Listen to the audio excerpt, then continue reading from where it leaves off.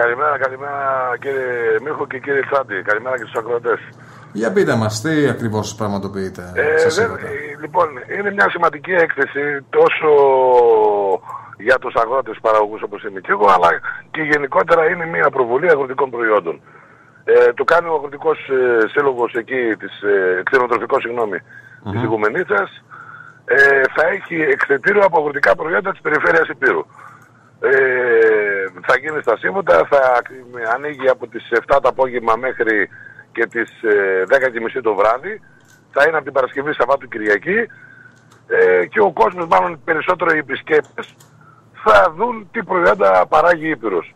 Είναι μια σημαντική εκδήλωση για εμάς τους αγρότες και για τον πρωτογενή τομέα για να δείξουμε στον ξένο κόσμο και ιδιαίτερα αυτή την εποχή που υπάρχει πάρα πολύ τουρισμός τόσο σε εμάς αλλά και γενικότερα στα παράλια της περιφέρειας Υπήρου θα δείξουμε τα τοπικά μας προϊόντα. Εγώ θα συμμετάσχω με τα μεταποιημένα προϊόντα ε, από τα εισπυριδοειδή που κάνω και ευελπιστώ να, να, ανοίξει, να ανοίξουν ε, διάβλοι και επικοινωνίας με κάποιους άλλους επιχειρημάτιες όσο από την Ήπειρο αλλά και γενικότερα και απ' έξω. Ο στόχος δηλαδή είναι η προβολή και η συνεργασία με διάφορους ε, ε, εμπόρους ε, είτε τις περιοχές της Ήπειρου είτε και έξω από την Ήπειρο.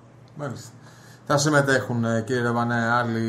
Ε, ε, άλλοι Από την Πρέβεζα. Παραγωγή από άλλη εδώ, ναι. παραγωγή από την Πρέβεζα. Και νομίζω ναι, νομίζω ναι, θα έρθουν και με κυπευτικά και τέτοια. Δηλαδή θα δείξουμε και την ντομάτα. Γενικότερα ό,τι παράγει σχεδόν ε, η πρέβεζα θα, στο σύνολό της θα είναι εκεί.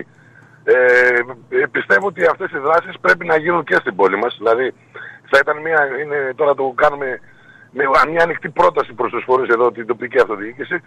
Θα ήταν ας πούμε ε, πολύ όμορφο παράλληλα με τη γιορτή της Αρδέλας που είναι πάλι πρωτογενής τομέας και είναι μια γιορτή φημισμένη στην Ελλάδα για τα αλλιεύματα του αμβρακικού που έχουμε το δίπλωμα στο Στολίδι θα ήταν ε, πολύ καλό και δίπλα σε αυτό να υπάρχει μια εκθεσούλα και με τα αγροτικά και με τα κτηνοτροφικά προϊόντα.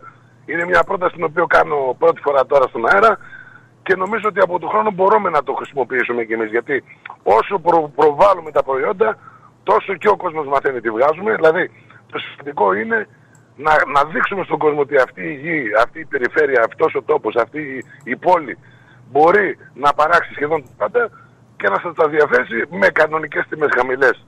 Γιατί είναι δύσκολο σε αυτήν την εποχή που ζούμε, αλλά και να προβάλλουμε γενικότερα την κουλτούρα μας σαν ε, πολίτες αυτής της πόλης. Μάλιστα. Μάλιστα, κύριε Ρεβανέ. Ε, Μα- ε, ε, νομίζω ότι ο πρωτογενής τομέας αυτή τη στιγμή ε, χρειάζεται στήριξη, όχι μόνο στα λόγια, εκτός από την πολιτεία, αλλά και με πράξεις τέτοιες ε, οι οποίες είναι σημαντικές για την, ε, για τη βοήθεια τόσο στους νέους αγρότες που και εγώ ήμουν κάποτε, ε, ούτως ώστε να στηρίξουν και να βελτιώσουν τη δουλειά τους με στόχο την ε, ανάπτυξη του πρωτογενή τομέα σε συνδυασμό με τον τουρισμό. Έτσι. Αυτά τα δύο είναι η μεγαλύτερη βιομηχανία που έχουμε εμείς σαν πόλη εδώ, αλλά και σαν Ήπειρος γενικότερα. Μάλιστα.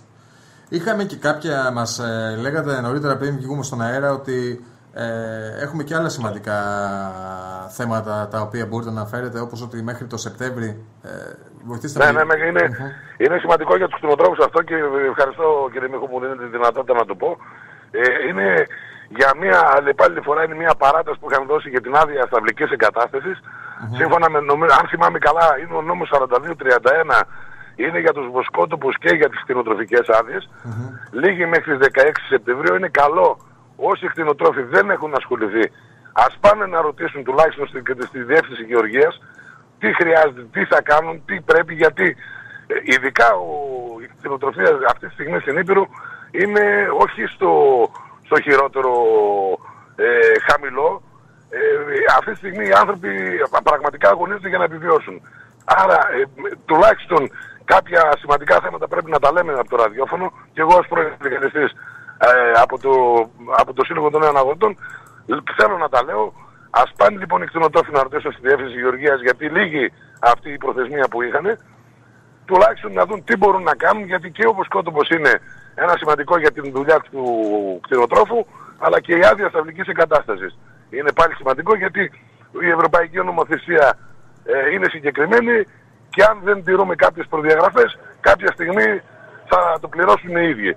και θα, μάλλον από ό,τι φαίνεται θα του πληρώσουν ακριβά. Μάλιστα. Κύριε Ραβανά, να σας ευχαριστήσουμε για την ε, ενημέρωση. Όπως, σας ευχαριστούμε πολύ. Όπως είπατε, θα είστε το τριήμερο στα Σίβοντα μαζί με άλλους παραγωγούς από την περιοχή σε αυτή την εκδήλωση που πραγματοποιείτε εκεί.